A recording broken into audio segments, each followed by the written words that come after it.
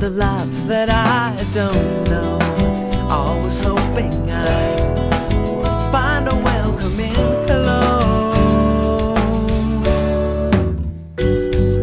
I saw you standing here and I had to talk with you because you seem so clear on what you're gonna do.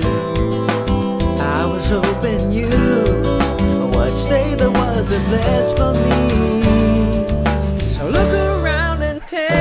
truth. Tell me, do you see a place here for me?